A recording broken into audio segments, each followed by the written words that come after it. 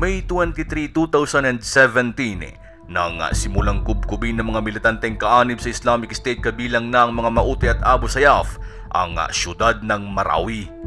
Dito ay ginawa nilang hostage ang maraming tao.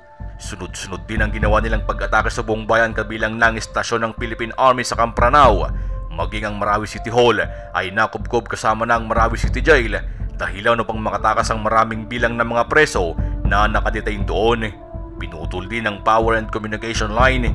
Nagtanim ng maraming IEDs o improvised explosive device para siguraduhin hindi basta-basta makakapasok ang sino mang kalaban nila at ilang pari rin ang naiulat na dinukot at ilang kasamahan nito at kalaunan ay siyang ginawang mensahero upang manawagan kay Pangulong Duterte na iurong ang laban kapalit ng kanilang kaligtasan. Kabi-kabilang panununog din ng kabahayan at pagdukot ang ginawa ng mga ito kung kaya't idineklara ng dating Pangulong Rodrigo Duterte ang martial law sa buong Mindanao. Dahil sa laki ng bilang ng mga militanteng grupo na umabot sa mahigit isang libo, ay uh, walang takot ang mga ito lalo na ang kanilang mga snipers na makipagsabayan sa hukbong sandatahan at ibaba ng Pilipinas. Subalit gaano man kalaki ang bilang at gaano man kahanda ang mga terorista ay hindi naman magpapatinag ang ating mga kasundaluhan. Sa ngalan ng kanilang sinumpang tungkulin ay handa talaga nilang ialay ang kanilang mga buhay para lang sa kapayapaan ng ating bansa.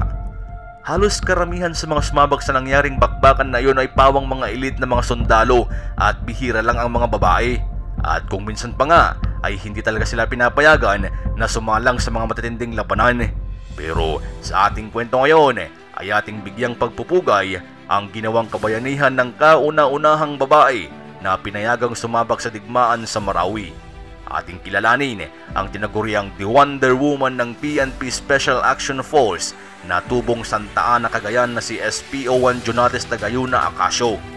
Bago pa man kasi dumating ang mga sundalo kabilang na ang mga Scout Rangers, Marine at marami pang iba, ay nauna munang natikman ni SPO1 Jonates Akasyo at ng kanyang grupo na 5th Special Action Force ang hagupit ng digmaan sa Marawi.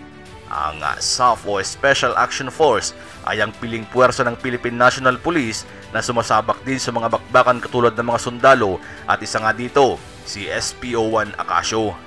Ang kanyang grupo ang naunang sumabak bilang assault team at siya lamang ang nag-iisang babae na ipinadala sa battle zone upang i-clear ang area na tinaniman ng mga IEDs at booby traps ng mga militanteng grupo noong mga unang araw ng bakbakan sa Marawi.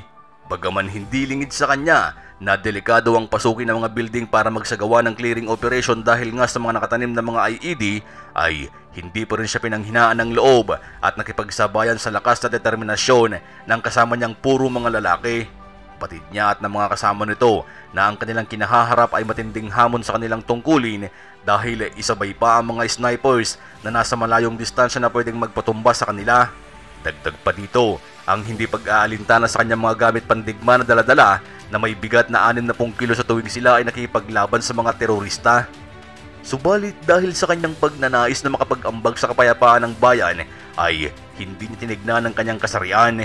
Bagamat ramdaman niya ang takot at pangamba para sa kanyang sarili ay matapang pa rin itong sinuong ang laban kahit na siya ay isang babae.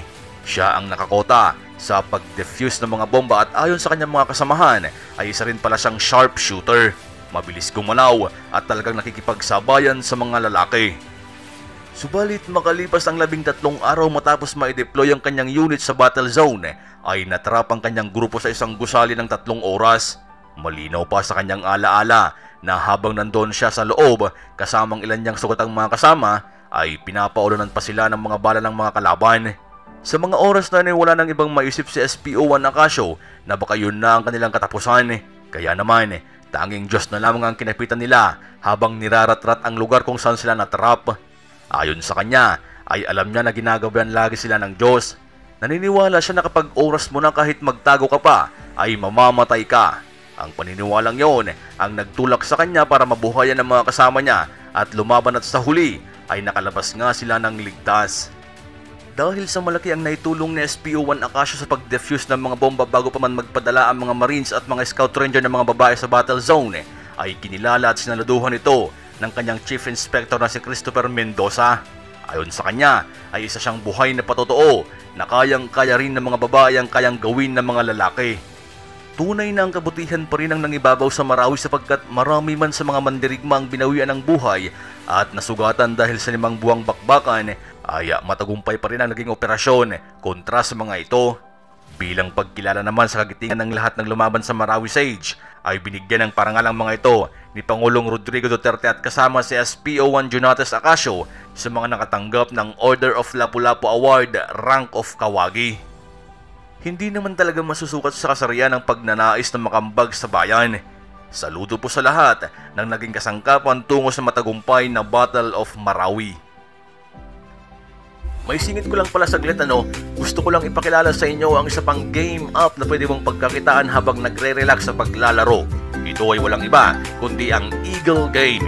Ganito lang yan ano, una ay i-download mo lang ang app na ito sa pamamagitan ng link na ilalagay ko sa description at comment section ng video ito. Pagka-download mo, ay i-open mo na kaagad. Mag-register sa pamamagitan ng iyong number, maglagay ng password at click mo yung OTP code. Pag nagawa mo lahat ay click register mo na at boom, magsimula ka ng maglaro at manalo. May mga exciting game dyan kagaya ng Dragon vs Tiger, Color Game, God of Wealth, Tong Its at marami pang iba. Siyempre pwede ka dyang mag-cash in. Click mo lang yung wallet at mamili lamang ng halaga na gusto mong ipasok. Pag okay na ay ilagay mo lang yung Gcash number mo. Click mo yung OTP at send then bind. At syempre pag gusto mo nang ilabas yung mga perang na panalunan mo, ay click mo lang yung withdraw. Ilagay mo kung magkano ang gusto mong ilabas. Ilagay mo din yung Gcash number mo sabay click ng bind at withdraw. Ganoon lang kasimple kaya ano pang ginagawa mo. I-download mo na yan at sabay-sabay tayong maglaro at manalo. At siguro dito na magtatapos ang maikling kwentuhan natin ngayong araw mga kaibigan. Kung uh, nagustuhan nyo po ang kwento, ay uh, huwag nyo naman pong kalimutang mag-iwan ng isang like at subscribe. At ayun na nga hanggang dito na lang, maraming maraming salamat po sa inyong panonood. Hanggang sa muli, agbyag!